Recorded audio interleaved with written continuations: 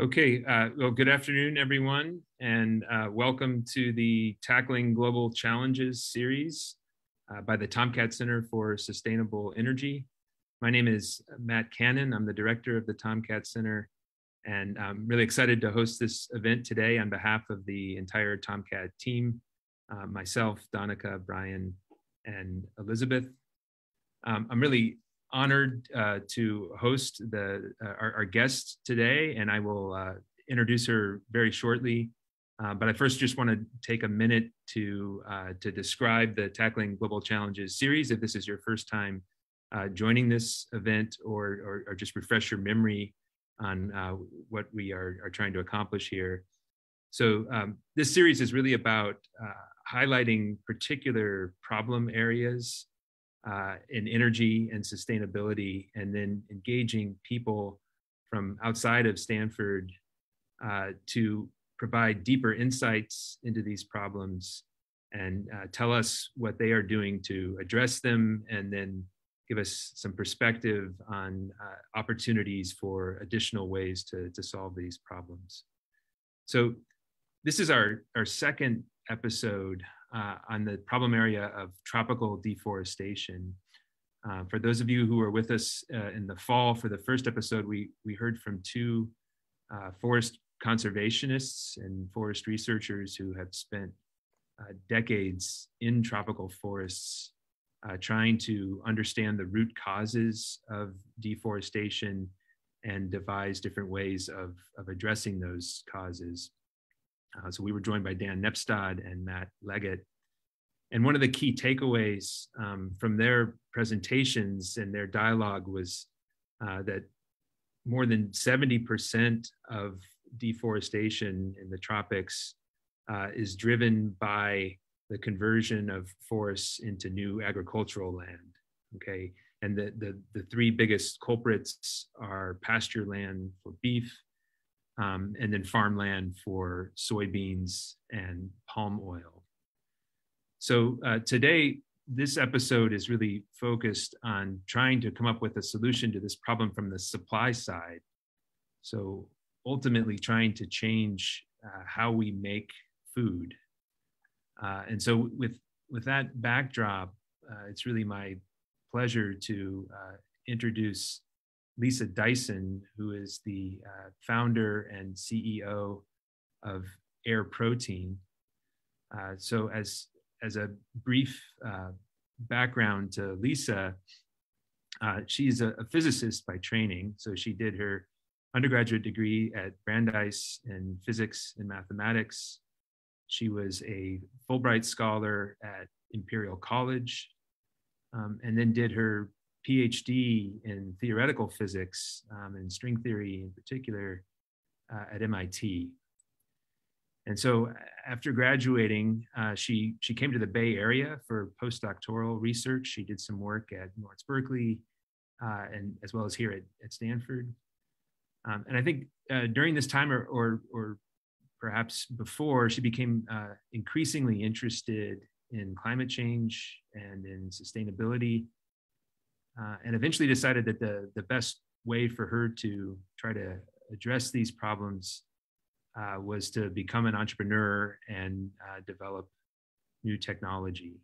Um, so she she worked for a couple years with the Boston Consulting Group. She got exposed to a, a, a number of, of industries, uh, and then in 2008, she co-founded uh, uh, and this is a company uh, to develop really a platform technology for using microbes uh, to take carbon dioxide and uh, simple inorganic inputs like hydrogen uh, and generate a variety of products, including plastics uh, and animal feed uh, and other food products.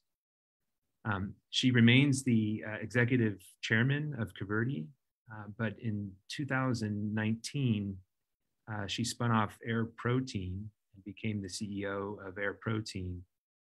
And Air Protein is really focused on making uh, the world's most sustainable meat. Uh, so, so making meat products using this core microbial technology. Um, Air Protein has gotten a tremendous amount of uh, momentum in the last uh, couple of years. Uh, and actually, I think more broadly, this entire space of uh, alternative meats and proteins um, is really at, at a tremendously uh, exciting point in its trajectory. Uh, so today, Lisa is going to give us a, a an, an, overview of, of air protein uh, and kind of set the stage. Uh, and then we're going to have a, uh, an extended discussion uh, with, I, I, hope, a lot of input from our audience. So um, at, at any point along the way here, if you would like to um, ask a question or propose a question, please submit those questions through the, the Q&A function on the Zoom. and, and I will do my best uh, to accommodate those questions in the in the uh, course of the next uh, 45 minutes or so, um, it, it, as long as they're, they're not on string theory or something like that. Um, so uh, it's really my, my pleasure, uh, Lisa, to, to welcome you today. And uh, we're really excited to hear more about uh, air protein and about uh, your story. So thank you. Wonderful. Thanks so much for having me. And I would say it's nice to be back at Stanford, you know, but it's virtual. Um, yeah, it's been a couple years there, and and happy to talk about you know deforestation, climate change, and these things, and how we can create solutions for tomorrow. Uh, and so I'll talk about what we're doing at Air Protein, and, and I'll kick it off that way. Um, so we're building what we aspire to, to be the world's first carbon negative meat company. Uh, and so in 2019, we made the world's first air-based meat. It was chicken, air chicken.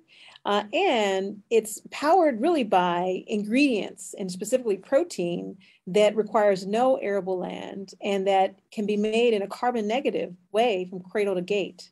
Uh, and so this is something that we're super excited by because it allows us to really usher in a new era of, of meat production. Whereas today, to make a steak, it takes two years. And the, you know, you mentioned kind of deforestation being a key uh, issue when it comes to grazing and then also for that animal feed as well. So it takes two years and it and you know leads to a lot of deforestation. Uh, and it has you know that greenhouse gas footprint same as a car. Uh, whereas with our process, you know, it all starts with elements of the air. And we're able to make a really nutritious protein ingredient in a matter of days using no arable land whatsoever. Uh, and so we can scale vertically. Think of fermentation, think of making yogurt and making cheese, but we flip that process on its head. If you're making yogurt, you're using milk as your input. Um, you know, typical fermentation may use sugar as an input, which also requires land. Uh, and so our process, we get the elements directly. So CO2, oxygen, um, you know, we need a fixed nitrogen source and renewable power. And we use that to split water and create hydrogen, which is the energy source that drives uh, this process. And so in the end, what we end up is a novel way of in a carbon negative fashion, making a really nutritious protein. The protein ingredient that we're scaling up today has uh, a, a, an amino acid content that's about 80%. So it's really rich uh, in amino acids, complete protein, all the essential amino acids, and the rest of the ingredient is bioavailable vitamins and minerals. So very nutritious outcome, output of this process. And we believe that it's the most sustainable way to make protein because it requires zero arable land and it is carbon negative.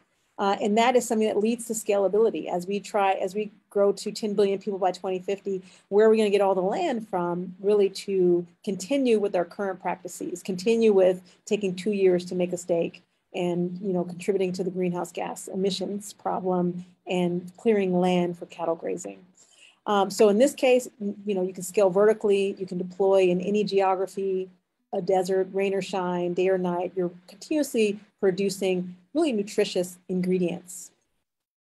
And so we're able to take these ingredients and make the world's first carbon negative meats, everything from a chicken where we started to air scallops to air halibut and beyond. And so what I believe and what the company believes, and, and many people actually in this new alternative, uh, you know, meat and alternative protein industry believe that we we want to uh, we envision a world where we define meat as the experience that people have when they're biting into a juicy steak or chicken breast. And it's not about the fact that it took two years to make that steak. It's not about the source, but it's about that experience. And so our goal, our mission is to create, recreate those experiences for people so that they'll come back over and over again to enjoy a new way of producing and experiencing those same meat flavors. So that's what we're doing and building at Air Protein.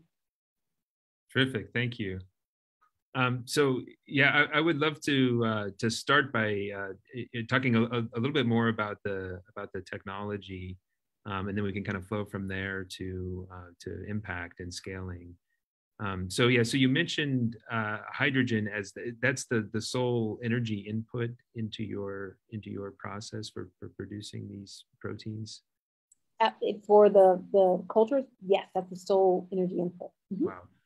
Um, and so, do you envision sort of, uh, or are you building fully integrated systems where you, where you will you'll basically have your own dedicated renewable power source, electrolysis system, fermentation unit, and any sort of, of downstream, or or uh, how do you how do you envision this on sort of the pilot scale, and then and then as you go beyond that to sort of commercial scale, is it going to be fully integrated, or or do you sort of um, basically take pieces from different sources?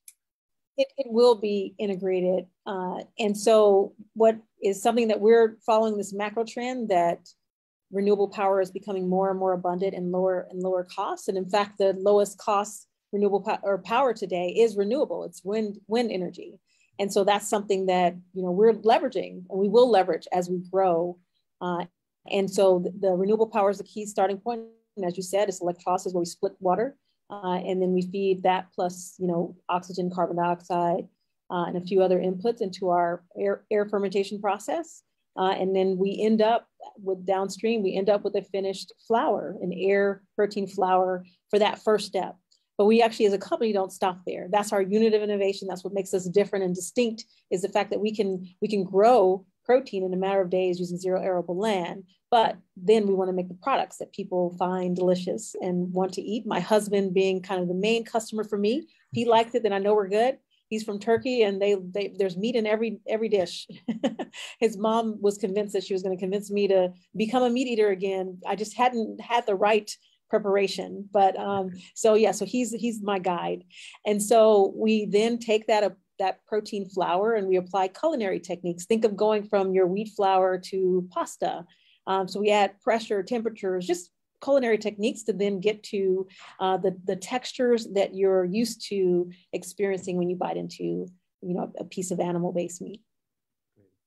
Yeah, and, and so the um, so to, to, get to where you are today, um, so the, these these microbes, of, of course, are, are, are quite old, and and the uh, the idea of, of using them, you mentioned in the on the Air Protein website, you know, NASA was was uh, exploring, I think they still are today, exploring the use of some of these microbes to generate food on space missions.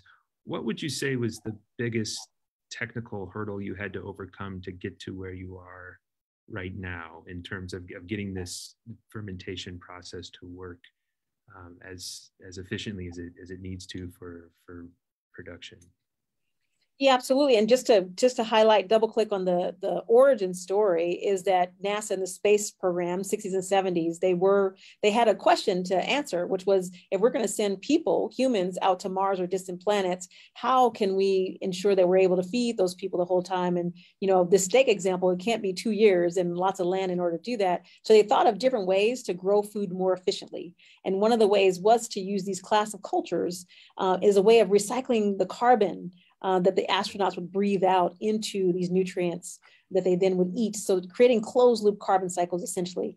And so that program ended, the space program ended, and they, you know, by and large, research on this stopped. You know, of course, there's always a few professors here and there that work on things, um, but by and large, that that ended. And so, myself and Dr. John Reed, a colleague that I knew from my my graduate school days, uh, we decided to pick that up off the shelf and see if we can make different things, you know, other than what they were thinking about originally using this type of process. Uh, and so when we first started, we actually went to contract manufacturers and we said, hey, here's what we want to do. Here's the cultures, the, the microbes we want to use, and here's what we want to do. And what we, the hardest thing was that, you know, I'll just say no one knew how to work with hydrogen. uh, and so it's, it's the ability to actually grow these uh, cultures in traditional uh, fermentation, contract manufacturing facilities. That was the hardest thing. Uh, and so we had to build it in house. That was a case where we didn't want to build it in house, but we had to. And so we had to build the, the knowledge, the capabilities, and know how around how to use these different elements as an input into a you know a fermenter, how to retrofit that fermenter so that it would then be able to um, deal with these these gases that have low solubility, for instance. Right. Um, so a lot of technical challenges along the way, and then we were able to kind of hit and solve many of those challenges and get really high productivities, 10x the productivities that NASA scientists were able to hit, and that's when we knew we were on something. Wow. So so you had to become something of a chemical engineering company, I would imagine, uh, to to solve that problem early on in terms of getting the gas delivery at the rates you need to to sustain the the right productivity yeah so it's definitely multidisciplinary. So it's not just your typical fermentation scientist. We had to get people that understand chemistry the chemistry of hydrogen and gases and chemical engineering as you mentioned. Uh, so we were able to build kind of that group of, of partners and um, you know people team that kind of brought those different skill sets together in order to solve the technical challenges that needed to be solved and, and I wouldn't say that we're there. I'd say that, that we're going to keep, we're in the process of scaling. Happily, we've hit the technical metrics that we need that when once we plug those into our techno-economic assessment, then it's a very attractive economics. And so we're scaling, but there's so many opportunities to continue to advance this technology to make different ingredients um, using different cultures and beyond. Yeah, so it's interesting. You said, you, you know, hydrogen was sort of the challenge that people didn't know how to work with it um, a, a, lot has happened in the hydrogen space over the past you know 10 15 years and it, it seems like there's there's now sort of tremendous momentum for scaling hydrogen and bringing down the cost of of electrolysis. Did you anticipate that? Um, so, so in other words did you sort of focus on organisms that take hydrogen as the input as opposed to perhaps some other gas uh, energy source? Thinking that that down the road, you know, looking at the trajectory of, of renewable electricity, that that perhaps hydrogen was going to be the most you know readily accessible, simple fuel for these types of systems, or or was that just a function of sort of the organism that you that you chose to focus on early on? Well, first I'll say that if we could predict the future, that would be great. Um, but uh, so, but we did believe that hydrogen, the hydrogen economy you know, we would want to be a part of building it because this type of technology uh, is a way of, of basically synthesizing long chain molecules well. And we started off looking at oils uh, and we were, you know, we demonstrated that we can make like a beef fat replacement as an example, a palm oil replacement. Uh, and that was Kiverdi. And then when we decided to go into fuels, uh, um, not fuels, food. we decided to go in food. We created a new company, Air Protein, really to focus on that that problem and, and really start focusing on protein in particular. But it's more, it's around understanding that, you know, protein, oils, they're made out of hydrogen and carbon. These are the building blocks. And so if you had a, a process that can take these building blocks directly and synthesize them, biosynthesize them, as it were, then that would be a way to unlock the potential from a perspective of decreased land utilization right. from the perspective of using you know CO2 directly. Uh, and so that's what drove us. Yeah, and so, and so um, speaking about sort of Kiverdi and some of these early products and um, you know oils, palm oil, um, or I, I, I, think I saw that uh, they make an aquaculture product as well. So, what really drove the decision to to focus on meat and to and to create air protein as opposed to sort of focusing on some of these less complex products, perhaps like an oil or or an ingredient or a feed um, that you know you don't have to give you, you, don't have to market to a consumer ultimately, um, and perhaps would be a little bit, uh, at least from an outsider's perspective, we are you know should be easier to to produce. So w- why go all the way for the chicken or the scallop um, if you could make the animal feed or aquaculture feed, for example? So Kiverdi has a B2B business model. So Kiverdi is that, that ingredient that you don't know about. Uh, mm-hmm. is making that, and we're partners really with large corporations to help them solve their their technical challenge with challenges with that with this technology. Uh, and so that is what Kiverdi does and Kiverdi's business model. Uh, what what we decided is that there's an opportunity. The market is ripe. Consumers are voting with their dollars, and they're looking for alternatives in the food area. Food wasn't a focus when, when we started Kiverdi, but food became more of a focus of the world, of many different organizations and governments, what have you, uh, over time. And we saw that there was an opportunity really to go directly to the consumer with our story, with our message. Uh, and so that's why, you know, we created Air, Air Protein as a separate company to really build that, that brand and that, that messaging really to, to say, hey, here's, here's a new way of, of produ- producing things. And here's, you, you know, you, when you buy this product, you're actually doing something better for the planet and here's why and really be able to tell that that story and catalyze the industry, catalyze others to um, know that carbon negative manufacturing is, is possible of, of everyday products. Yeah, I, I think that's that's that's a really important point that that engaging the consumer and enabling them to make a choice um, so that they can decide uh, to what extent they're willing to to pay for a product that's more sustainably sourced. Yeah, I guess if you're if you're farther up the supply chain um, and you're replacing aquaculture, but but the consumer doesn't know it, right? They don't know the fish they're eating what what it was fed. Uh, maybe a lot harder to to get traction there. So that, that yeah, and, and the more they know and the more they choose to buy those products, the more industry will change. Right. Right. Yeah. The more they'll, they'll be forced to to respond. Yeah. Absolutely. Um, so what I, I, don't know if you can comment on at what scale um, you, you, talked about the sort of techno-economic projections. W- what is the scale of a commercial plant where um, that really starts to look favorable? Another, like what, what's sort of a target scale for a first commercial plant or the nth plant, if, if you if you prefer, um, just to try to give us a sense of what what the footprint of these would would look like, and you know how much power perhaps would uh, would be needed to to produce the, the proteins, how much solar or wind we're talking for one of these plants.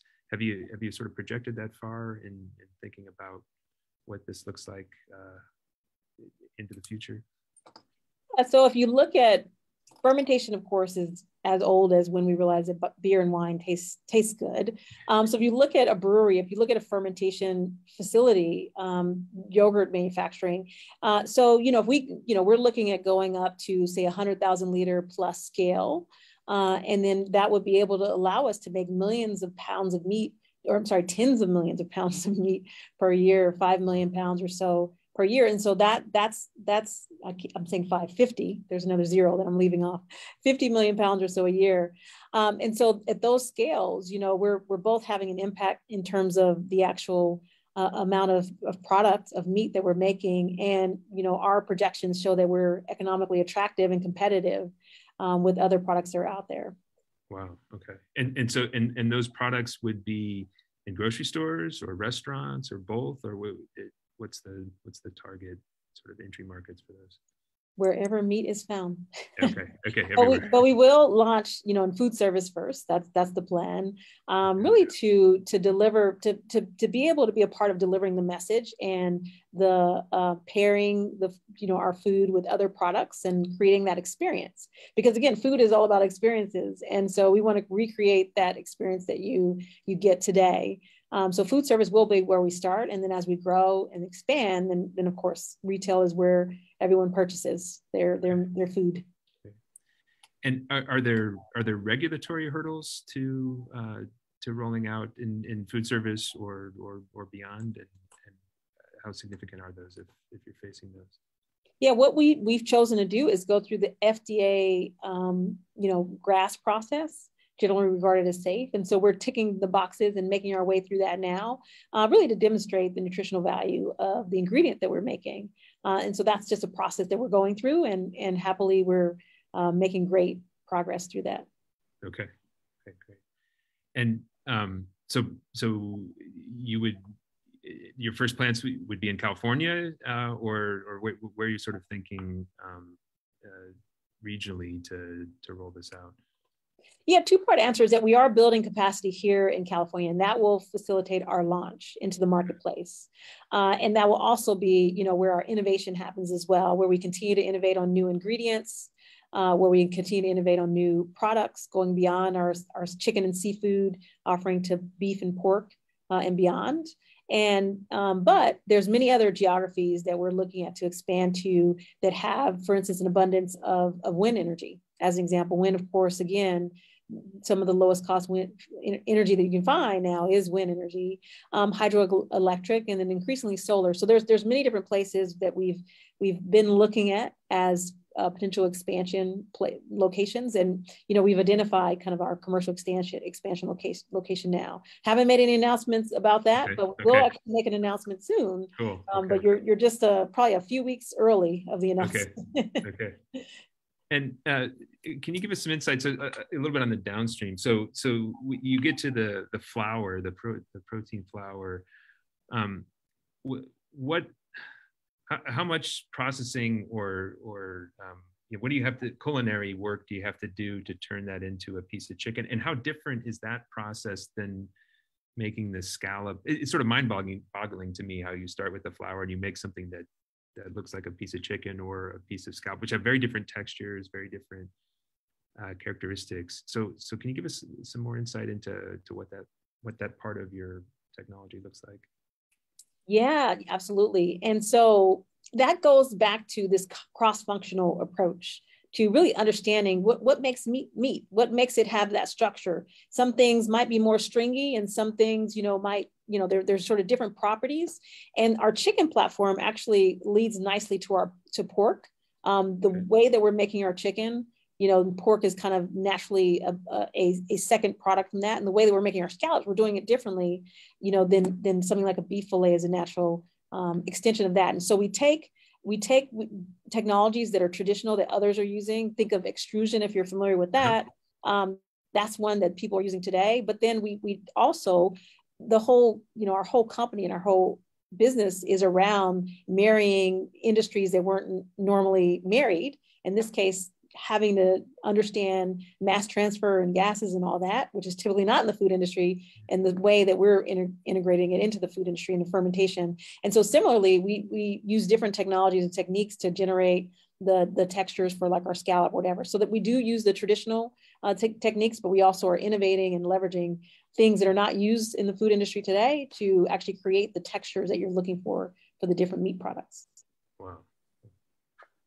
Um, and if we sort of now shift to um, you know thinking about impact and and um, impact on uh, ecosystems and, and deforestation, um, what what is the what is the product that you, that you think would have the biggest impact on on deforestation?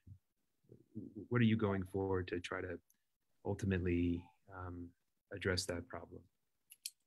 Yeah, well, for you know soy is used in feed for many if not most animals. So you know you listed that as the second biggest culprit um, and so that's something that we can address is the, the, the feed to these different animals. Um, so but of course beef is number one. Yeah. beef is the biggest biggest uh, culprit when it comes to, to climate change climate impacts so going after the beef products will, will help us um, get there even faster in terms of transitioning our food system to something that can be more carbon negative. And and that what sort of um, what sort of hurdles beyond uh, you know what you've already addressed for chicken and for uh, seafood what are the additional hurdles for for beef? Why not start at beef i guess is another way of asking. Well one reason is that everyone else did. Okay okay. So we're starting in a different area and okay. one thing that we want to stand out with our brand and what we're doing is that we can actually look at the, the nutritional aspects as well. And we highlight that as being important. And so many people in the US and some other geographies are shifting from beef and pork to chicken for health reasons. And so we decided to go after one of the, you know, perceived to be healthiest meats out there and then to make it healthier you know? And so we want to demonstrate that we can deliver the taste the texture of course the sustainability that's just given um, but also that we can deliver nutritional outcomes as well with our first products. And so that was one of the reasons why we chose chicken. And then the the uh, the seafood products you know again another area where people aren't focused and where we can come and stand out stand out not just for the you know sustainability benefit but that we can actually mimic a scallop or a halibut right. um, directly, whereas others haven't been able to do that. Okay.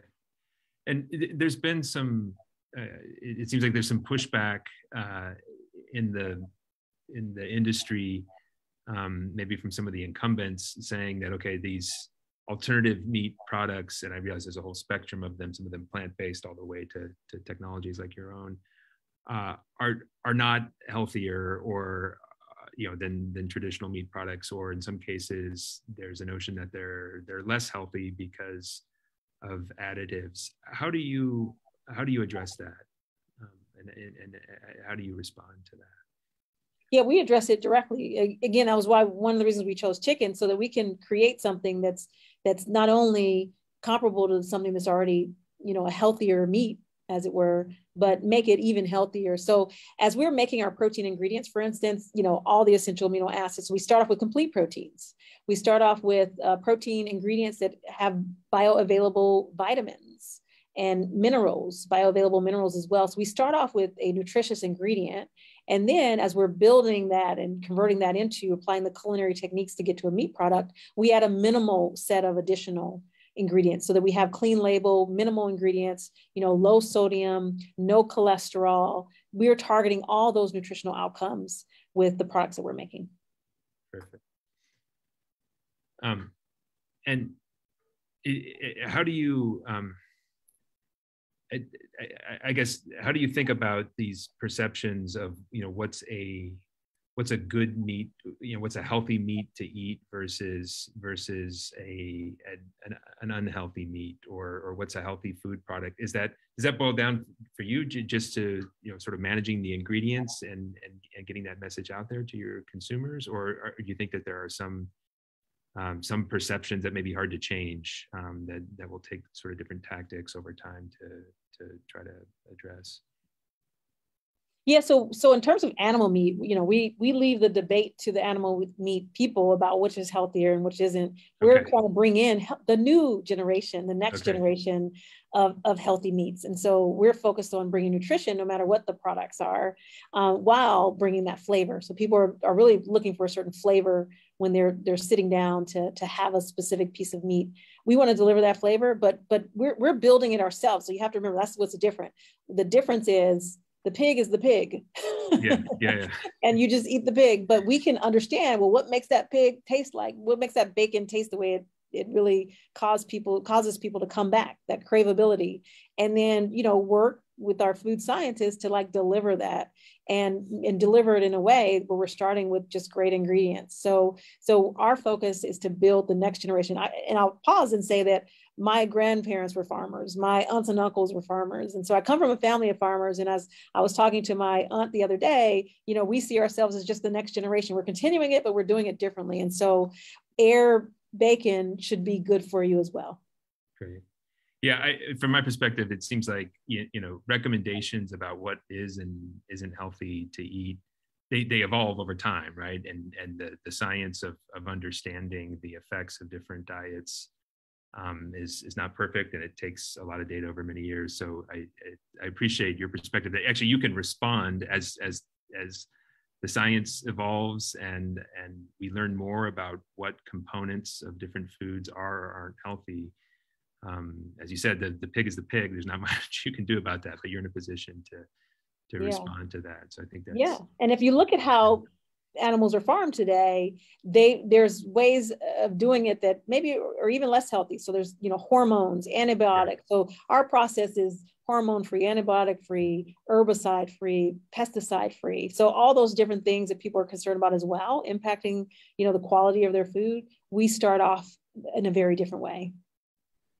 So there's a, a question from the audience uh, about uh, genetic engineering. So, so are the are the organisms that you're using genetically modified? They are not. They're non-GMO. Okay. Okay. Uh, there's another area that, from my perspective, that it doesn't.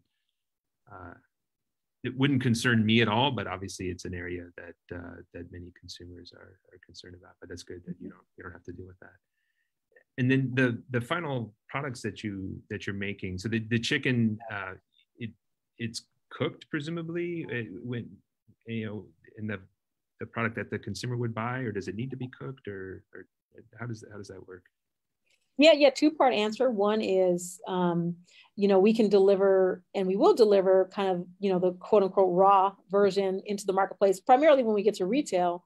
Um, but also we can deliver kind of uh, signature dishes as well. So we work with chefs and we will continue to work with chefs to, to create those experiences. That's, that's the benefit of what we're doing is we're, we're sitting down with consumers and we're understanding what they're looking for, what flavors they're looking for, what do they want paired with, with their food, what kind of spices do they want. And so we can deliver the raw products, but also the signature dishes as well. Okay. Um, so getting back to to deforestation and sustainability, um, ultimately it seems like you would uh, you need to have a you know lots of production in the developing world um, where uh, uh, first of all there's perhaps you know greater stress on on agricultural lands, so there's there's uh, sort of a built-in demand for for new technologies perhaps that can produce food more efficiently. But second of all in in you know in countries where uh, where there is uh, you know massive deforestation uh, what are your plans for sort of expanding uh, internationally? And how, how, how do you see do you see any significant barriers to deploying this technology really anywhere in the world where uh, where where it's needed yeah, we, we definitely, we're starting in the US, of course, um, but we already are talking to regulatory bodies because that's kind of the, the key thing that will, as we go into different geographies, we have to go and work with their different regulatory regimes. Uh, and so that's, we've already started some of those conversations and we're doing our, our, our GRAS process now in a way that trans, transfers nicely to, you know, the places where we're, we're, we're in conversations with, with different people. And, you know, this is a, a new way of farming and so we hope to create this as a new way of farming for people in different countries across the world and pe- people in the US as well. Uh, and so a way of growing protein vertically, quickly, and efficiently, and creating products, creating meat from that, a new way of making of, of meat farms. So not animal agriculture, but air protein agriculture. So um, one of your uh, investors uh, from the your, your recent fundraise is, is ADM, one of, one of the giants in, in the agribusiness. Um, how do you uh, how do you envision sort of partnering with these large agribusiness companies? I mean, in, in, in some ways, you're you're a, a, competitor, right? But but what's sort of the strategy for in, engaging them um, as, as, you grow and, and hopefully you know reach capacities that, that they're used to operating on on a, a, daily basis yeah one thing i'll say is that i'm a part of the unreasonable group but one of their fellows the and, and air protein is one of their companies uh, their portfolio companies and they have this this this value of we is greater than i and we believe that working with Air, with uh, ADM is a force multiplier for us. They're one of the largest fermentation companies in the world. They're North America's largest protein provider, and they just recently announced their their huge commitment in in protein you know i think it was 300 million dollar investment that they announced recently into a new protein innovation center. And so they're investing heavily yeah. specifically in sustainability. They are a food company and they they know and believe that we need to continue to accelerate sustainable food production and they're investing in it. And so that's one of the reasons they invested in us and we are excited about that partnership.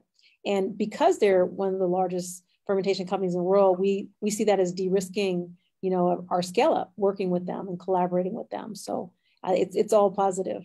Okay, terrific. And and so in ultimately, I guess you see the change that you're starting and and the technology that you're proving sort of spreading to these bigger companies and then you know adopting this approach or some of their own sort of variant of this approach to to produce food products we believe and we want it to be the wave of the future because what else is there? Right. Uh, definitely, there's a lot of people working, and, and, so let me let me actually say that differently because we stand on the shoulders of giants, and many there are many people in this space that are working on alternative ways of making meat and making food that's that's much more sustainable, and so we're part of that community, uh, and so you know we we want to catalyze more and more of that, and in particular, we want to catalyze the carbon negative zero land version of that, uh, and so we do see that you know we envision 30, 40 years from now, as this, even b- before then, we envision air meat being just, oh, that's just meat, you know.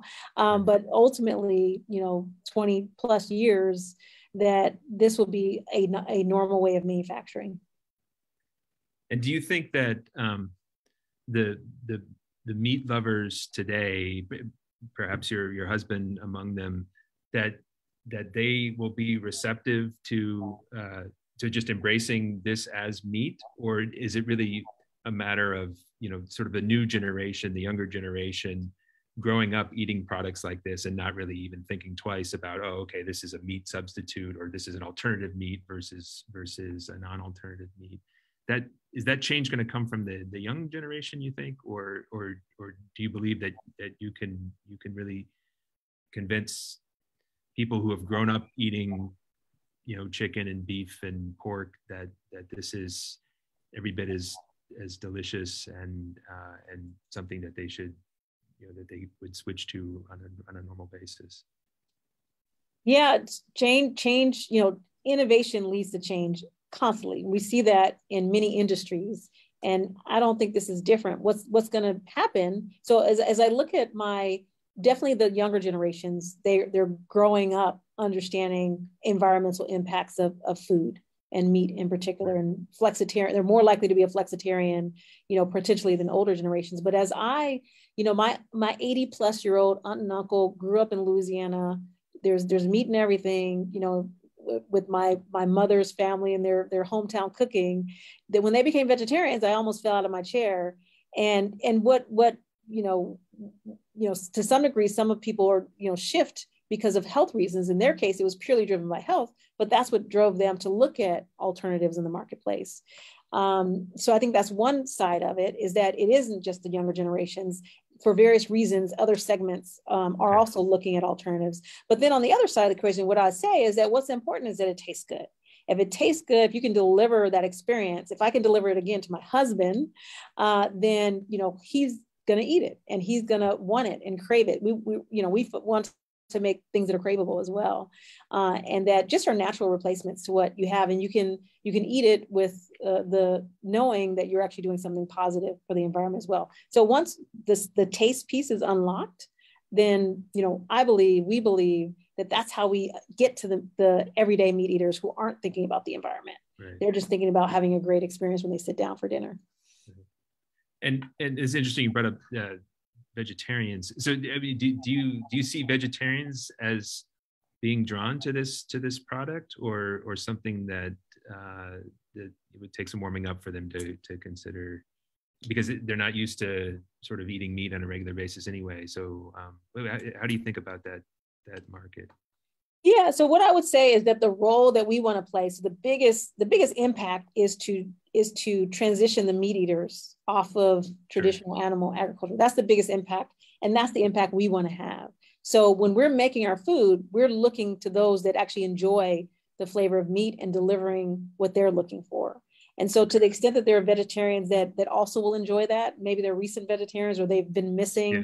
that steak this whole time, then absolutely. Um, but that's really our target because that's really where the biggest impact can be felt. The vegetarians are already having their impact. Okay. Mm-hmm. So I, I, I want to spend some time, particularly since um, you know many of the people who um, who uh, access the the TomKat content are, are students who are aspiring to be entrepreneurs themselves and and you know interested in applying their their skill tackling these these huge problems. Can you can you give us a maybe a little bit more insight into what what drove you to go from being a a theoretical physicist to to now tackling this you know very practical problem that requires all you know this very interdisciplinary approach. What what drove that that change uh, in in you? Yeah so it really was driven by that that time in in new orleans after hurricane katrina and just really seeing that climate change is real um, and and when when we do have increased uh, not not to say specifically that that was caused by climate change but the frequency of weather events the intensity of weather events being increased really affects people's lives. Uh, and just really wanting to figure out how can i be a part of the solution? As climate scientists are telling us that this is this is a problem what can we do? Uh, what can i do? So my background is is you know physics plus business. So science and technology plus helping executives solve business problems. And then I'll add on top of that that my dad was an entrepreneur. So he, um, at some point, was the president of a chain of 55 hair salons. So I, I just grew up seeing you know someone who would have ideas and, and seeing the highs and lows of entrepreneurship and seeing him gather people to kind of execute against those ideas and so having that that background uh, plus business plus technology that's where i saw things coming together for my contribution. Policymakers have a role regulatory bodies ngos they all have a role in this. But where I saw I could fit, and my colleague Dr. John Reed, where we saw we could fit together, was to, to really focus on the technology, the science, what is the what where is the science sit? How can we turn that into a technical solution that we can commercialize? And how can we turn, turn that into something that people will will buy people are buying things every day so let's have them buy things that are better uh, and so that's really why we first first build Kiverdi, you know, targeting, you know, different with different targets, and then ultimately decided to add to our portfolio of, of companies, as it were, Air Protein to, to target the, the meat and, and food industry in particular. Yeah, so, so you know, one of the things I, I try to tell um, prospective grad students or incoming grad students that you know the what you learn in graduate school, you really learn how to how to learn, and they always look at me like um, I'm not making any sense, but but you're empowered. You know, going through graduate school, no matter what the, the specific discipline is, you you emerge sort of empowered to you know tackle hard, complex problems. Um, and I, I I would I think you know you're perhaps the best example of this because your area of, of deep study in your in your education very very different obviously from um, my, you know, from fermentation processes. Was there any, and, and I, I, know you had a, a, co-founder with some expertise in this area. Was there any sense of hesitation that, oh, okay, I'm getting into a technology space. You know, I've spent I, have spent my education studying deep physics, but now I'm getting into a technology space that's that's totally different. Was there any sort of hesitation, or, or did you really feel like, okay, all of your experiences had really equipped you to move rapidly in a in a new space, uh, space that's new to you, and, and and make progress? Yeah, I'd say no no hesitation whatsoever. Um, I mean, for me, just I was raised by an entrepreneur. So and you know, he had ideas, my dad, and and he would just go and go after them. You know, he'd get after it as it were.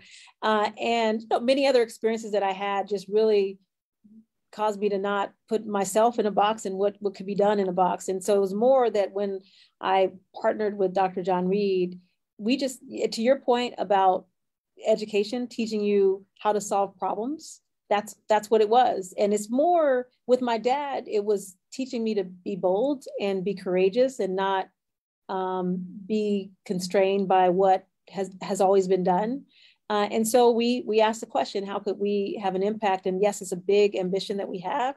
We we our our mission is to accelerate the world's transition to climate and rainforest friendly meat. That's our issue our mission at air protein. And and you know in order to do that, our way of doing that is to, to, to create this carbon negative meat and scale it as fast and as much as we can uh, to accelerate that transition. Uh, and so I'd, I'd say that both my, uh, my dad's entrepreneurial background and me seeing that and and being taught through all the many years I spent, spent in school uh, how to solve problems made it just something that uh, you know follow your passion. So it's something that I'm passionate about you know, my colleague, Dr. John Reed was passionate about. And then I'll, and, and not to just focus on the beginning because we then were surrounded by so many great people that joined us first as advisors. And then, you know, in our first, in our garage phase, we had people coming from their day jobs to the little lab that we rented in San Francisco at night uh, to help us figure out what we're, you know, what what we could do with this. Can we actually turn this into a, a, a commercializable technology? Uh, and then we've just had so many people join us in this journey that have their own passions and their own uh, goals in life, and and they see how this fits into what they're yeah. the impact they're trying to have. So, I think part of it too is just seeing the momentum. We first entered a business plan competition, and then we we got a you know we, we were one of the, the winners. We placed, and we're like, oh, maybe we're on something. So and, and from that point forward, just so many people have been a part of this journey, going to you know our investors and our our current employees and our advisory groups, and just so many supporters out there. So these are the these are the things that make it uh, impossible to not do it. Really. Yeah, uh, that's a that's a terrific point about uh, advisors. I, I think there's a, I speak a little bit from my own experience. There's a sense when you're starting something new with a big, um, a big lofty goal that it, there's so much that that needs to be done, and you need so many people. You would need such a big team to solve all these complex problems, but you can, and, and you don't have the resources to, to of course, hire that team on, on day one. Um, but you can leverage um, experts and, and, advisors is something we try to uh, encourage and facilitate at the TomKat Center as well.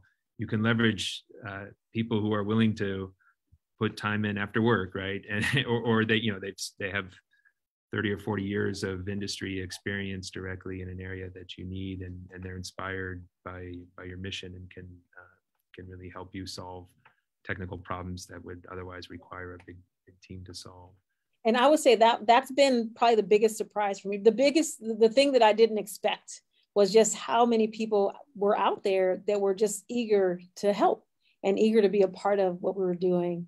Uh, so I definitely encourage students if you are have an idea, uh, you know, leverage the the network, you know, the, the the alumni database, you know, contact people that are industry experts and you know there's many people that are just waiting to to be put to use and to be helpful and to extend what they're passionate about and, and help someone else uh, do what they're passionate about. That's terrific. Um, so uh, just in the last couple of minutes that we have here returning to, to nasa as it were or to, to space exploration um, what do you think about the the prospects of of you know utilizing these systems. I mean certainly at a high level you, you have to do the types of functions that that your technology does in order to you know produce food on a deep space mission or or perhaps in, in a mars settlement. I understand as i understand there's sort of two camps. There's one is that okay we just need to increase launch weight and then we can pack everything that we need on these on these trips. And the other is that okay we, we do have to build the capacity to to make things um, away from Earth. What what are some of the hurdles, or what do you think? What would you think what the timeline would be for really bringing this type of technology to to deep space, either on a on a, a space shuttle or on a settlement on on Mars? Yeah, I mean, one would want to continue to innovate to just make things as efficient as possible. You have so little space um, yeah. available, and then of course you know when the the other factors are different um, grav- the gravitational you know field whatever force um, you know gravity is different in those locations. And when you're flying there you know if you want to eat while you're on your mission to mars as it were you know so there's there's other things to, to address. So you know the the scientists at nasa got us to the moon with uh, technology that is so ancient compared to what's on my iphone yeah. So we can do it. The, the amazing thing about humans is that we can kind of solve many of these challenges that, that, that we may face. And the core, this core science, you know, we've, we've worked on the core science and gotten it to a point where it's economically attractive, or at least it, it appears to be. We're scaling now to demonstrate that, uh, you know, with what we're doing here on Earth. But I think it's just a matter of doing more research and getting it ready for, for space missions. And is that something that, that you think would be a, a something that Air Protein would would participate in in the future, or or is there another frontier, I should say, for for uh, for this company that uh, that would leverage some of these innovations to to tackle another problem? Yeah, no, I'd say that we, I mean, we're we're we're we want to be a part of feeding people wherever they are. Of course, here on Spaceship Earth, we have a huge need, and our spaceship is going to have 10 billion people by 2050. So we have a need to figure this out here, and that is our our current focus. But in the process, you know we're we're happy to be a part of all kind of scientific explorations we Kiverdi has been benefited from you know grants and being a part of governmental projects across the board from a number of different industry uh, governmental bodies uh, in different countries as well and so we would happily continue to work with the government uh, and and actually now it's not the government anymore it's it's all these other organizations yeah. that are focused on space travel um, so yeah happily we, we we we work with any of them to bring this to fruition for long journeys?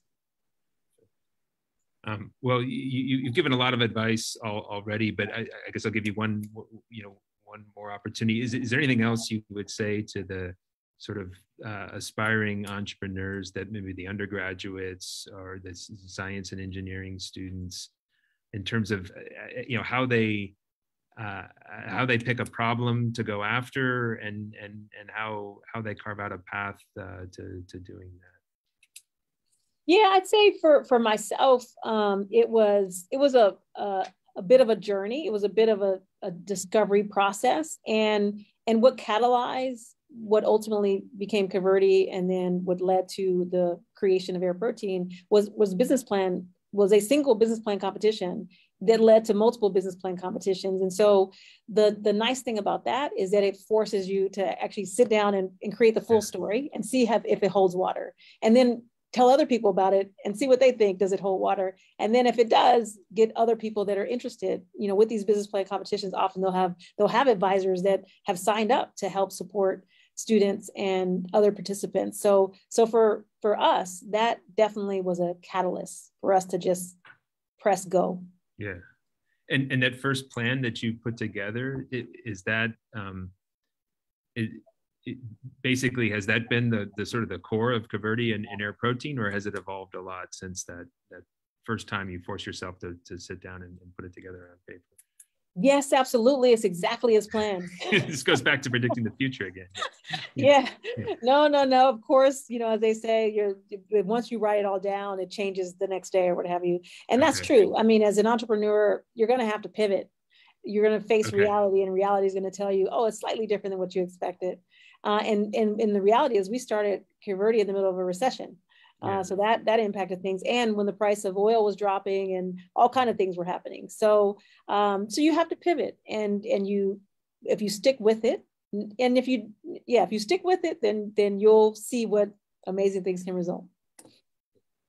Well, uh, this has been uh, really enjoyable, and I think uh, just tremendously uh, inspirational uh, and, and, informative. So, so I, I want to thank you, Lisa, for for taking the time to talk with us. Um, but before I, um, but before we go, uh, I, I want to emphasize for for everyone uh, watching it live or who will who will access this um, later, uh, we have a TomKat Center community, a, a networking hub uh, through LinkedIn. Uh, that link, Donica has posted that uh, in the chat. That's a great way to to connect with each other. Um, if you are interested in connecting with Air Protein, um, please uh, re- reach out to us at the TomKat Center, and, and we can help uh, facilitate those uh, those connections. Um, uh, uh, you know, anyone who's interested either in, in trying to help or, or, or learning more, or perhaps um, just buying some some chicken and, and scallops and, and but we're um, hiring. So, oh, oh, and you're hiring. Fantastic. Yes. Mm-hmm. Um, so so please uh, please connect through through LinkedIn um, or uh, or reach out to us and, and, and we will put you uh, we will put you in touch with uh, with the folks at Air Protein. Uh, Lisa, thanks so much uh, for for taking the time to talk with us today, and it's just really been a, a tremendous hour to, to, spend with you. Thank you so much for having me. I've enjoyed it.